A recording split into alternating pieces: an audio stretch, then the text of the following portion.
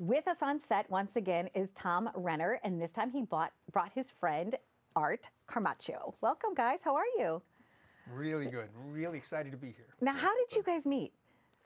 Well, we met at a uh, Michael DePasquale uh, stunt camp, and I was just getting into the business. I wanted to learn how to do stunt fighting, and Art was the director, choreographer uh, at the camp for like five days. So I got to be immersed in his teachings and get to learn all the stuff. And after about two years of doing that, um, Art asked me to come out and film in uh, my first motion picture, which was uh, Gangland out in uh, Hollywood, out in out in LA.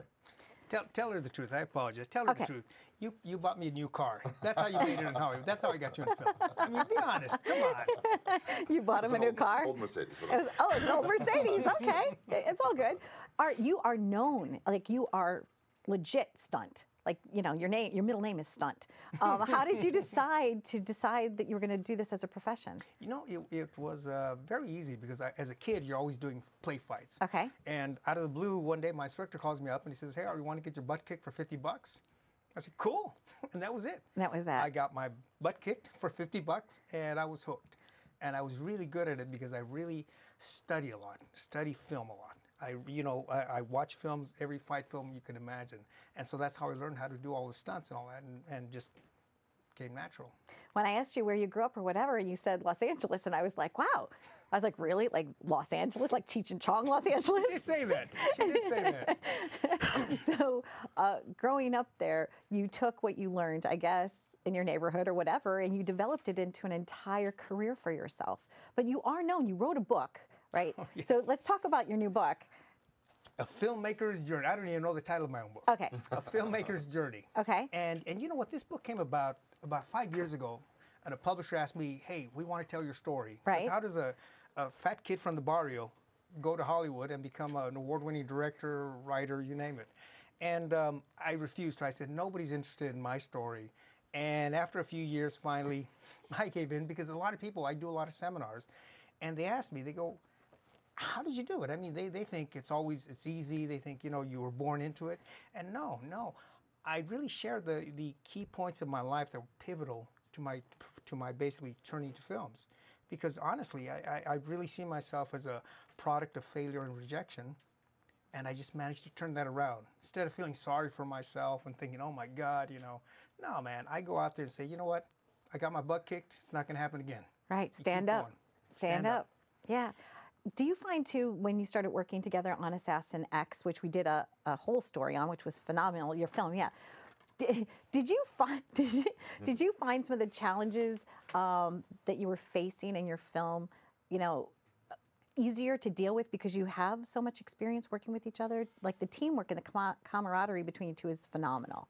So how did that how did that help during you know working on this project together? Well, we've been working since the 90s together. and, um, you know, I got this group together and we formed our company, Throwing Star Films, which was great. And Art's one of the producers on it. So there's the four of us Cherise Hishme and Joe Navarro, myself, and Sifu Camacho. and um, we got Great. together. Grandmaster. Grandmaster. Oh, Grandmaster, there you go. Yes. Oh. so we got together and we came up with an idea and just getting everything rolling. Art has all the com- uh, connections out in California. I had the team in New York. So we just pulled it together and got working on that and with uh, all, all the things that he taught me. And really, it was an education just being on the set for this film, being a producer and acting in the film and just nonstop. When you're with this guy, it's 24 hours a day, seven days a week. I think there's another day added in there. Oh my gosh. he doesn't sleep. He doesn't sleep.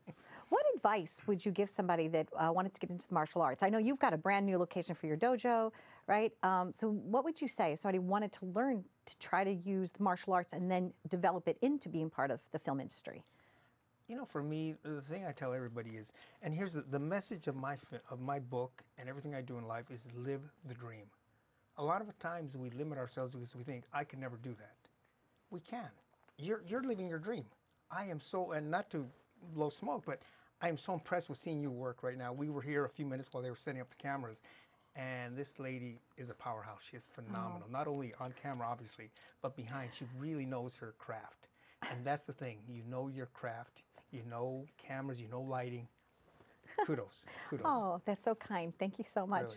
And we were even talking a little bit. Maybe you could teach me some. Maybe I could be in your next film that you guys are doing. You have something coming up. Uh, father to father, father. Yeah, Father and Father. The Father and Father, okay. Um, executive producer Dr. Robert Goldman, um, Mark Goldman uh, producing also. Uh, I'm involved producing and acting in the film. Art's coming along. He's doing the choreography, doing a whole bunch of different things. Uh, we're actually using my new location in Deer Park for Kazan Dojo to, uh, you know, do all the fight choreography and all the working out for like two straight days before we even get into this little film short. But uh, yeah, it's a great story about two priests and there's a mobster that comes in and the whole thing just uh, blows out of control. And we're gonna have some great fight scenes with this guy. He's, he's the master, and uh, it's great to have him out here from California. It really is. And, and before we wrap up, can you just tell us briefly, like one moment in time on your timeline that stands out for you that we could read about in the book? I think when I uh, I got beat up, it's uh, I was out one night. It was a stupid thing on my end. I was walking to the liquor store, and five guys from a rival neighborhood jumped me. I have 11 stitches here, stitches everywhere, and the the thing that you never forget when you're, you're a victim of violence is the the smell of your own blood, and the warm feeling as it's pouring down your face. And I don't say that in a pitiful way. I say that you know what, it made me stronger and because of that, it made me really with the attitude that that's never going to happen to me again. It stands out a lot because I'm telling you, failure, rejection, violence, and everything led me to a great life. I'm living my dream.